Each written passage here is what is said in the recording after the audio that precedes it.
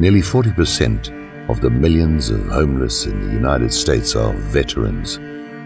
When the count of recent veterans that had committed suicide hit 30,000 back in 28, the US government stopped counting. This week, American war veterans in Los Angeles await a court decision that would return the veterans' national home to them. The land had been stolen from them by gangsters and politicians, two groups most Americans now know are one and the same. However, they fear the judges under pressure from powerful anti-veteran groups now clearly identified as Israeli-based. American war veterans have been targeted. They've known it for years but it wasn't until they were named terrorists by Department of Homeland Security Secretary Janet Napolitano and anti-Semites by Abe Foxman's Anti-Defamation League that they knew who was out to get them. A powerful organization, organized crime figures, AIPAC, the ADL, then JDL, aided by Senators Feinstein and Boxer and Representatives Waxman and Pelosi, have declared war on America's homeless veterans. Aiding them are phony non-profit organizations, the Veterans Park Conservancy and Brentwood Homeowners Association, multimillionaires, Israeli citizens stealing from homeless veterans, organizing smear campaigns, hiring thugs, police and military to threaten and intimidate veterans, many well into their 80s. But why? Veterans control billions in land, are served by one of the world's largest hospital systems, and supposedly receive endless billions in aid programs, which have not just been increasingly privatized, but increasingly targeted by organized crime. Veterans are an easy target and laws that allowed Congress to be taken over by banksters, drug cartels and human traffickers have empowered criminal elements among America's friends of Israel to prey on damaged and disenfranchised war heroes. Service organizations tasked with protecting veterans have made it even easier as they had begun the process long before, taking everything in sight and waving the flag to cover their crimes. Now, the real professionals have taken over. Back during the 19th century, nearly 400 acres of worthless land was donated as a home for war veterans. That land is now worth $4 billion. The veterans group, the Old Guard that has been demonstrating for nearly 300 consecutive weeks, never knew who their real enemies were. Police came to arrest them, war heroes with an average age of over 70. The courts ruled that the police had violated the law.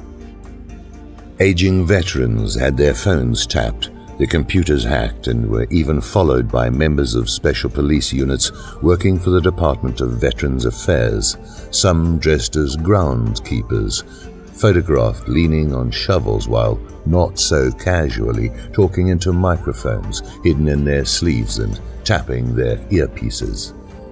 It would have been funny if it weren't also criminal. Military police came, filmed, assaulting the aging wheelchair-bound vet, but police and the courts would do nothing. How do you tell the Israel lobby from the mafia? You can't. Then it happened. The old guard were called anti-Semites by the ADL. The ADL called them Nazi extremists. A local Jewish paper claimed the group was terrorists, citing that veteran protesters are likely to bring machine guns and start killing people in the streets. There is a problem with this. Some of the vets are Jewish. Their supporters are Jewish. Their lawyers from the ACLU are all Jewish.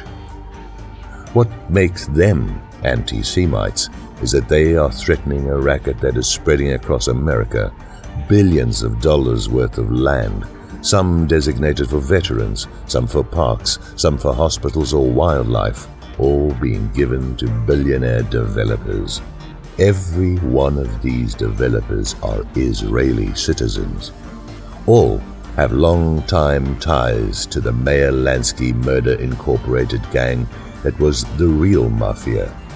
They are alive and well today, many safely settled in Israel, others still in America.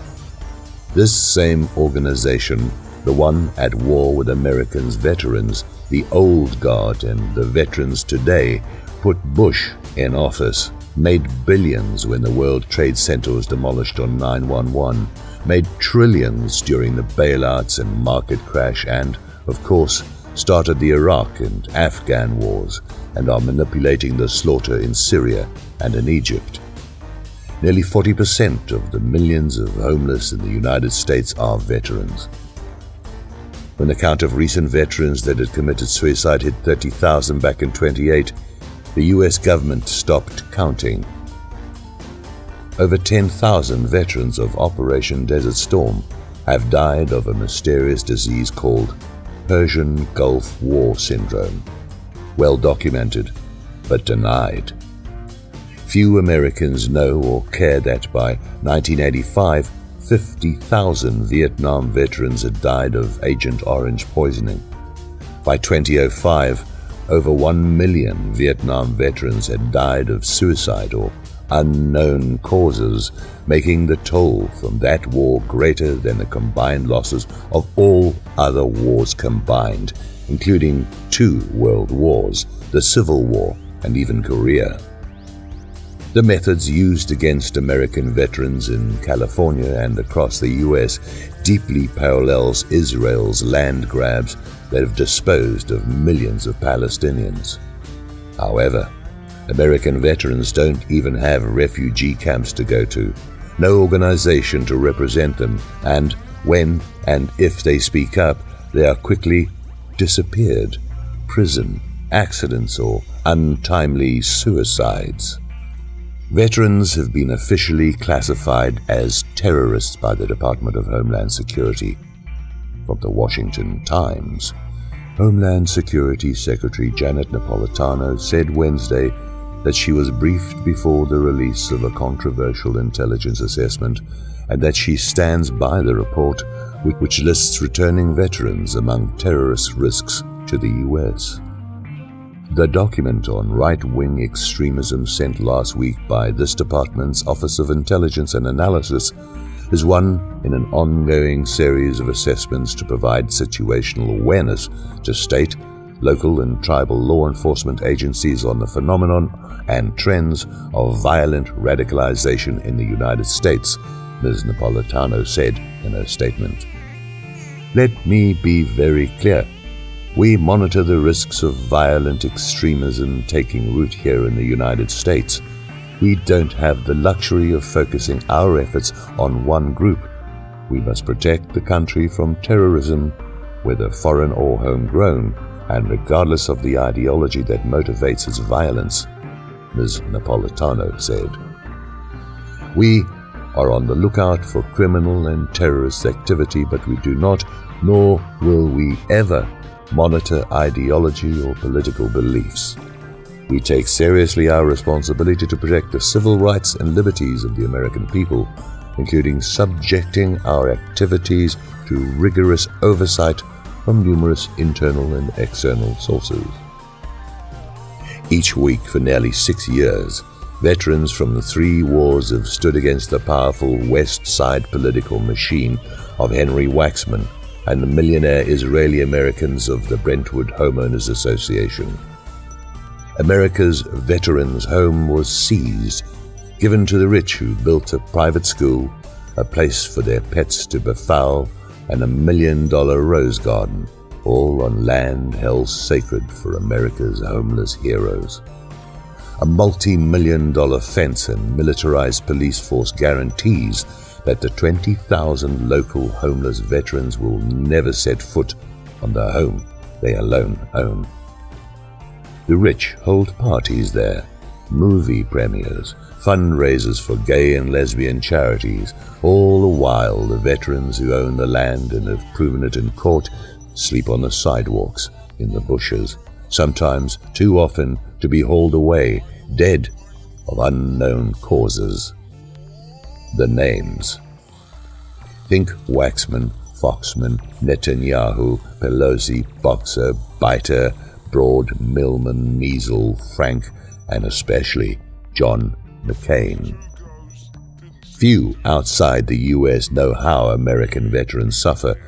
After Vietnam, Senator John McCain, according to Colonels Ted Guy, Earl Harper, and Jim Hank, worked tirelessly to make sure none of the hundreds of POWs held after the end of the war were repatriated.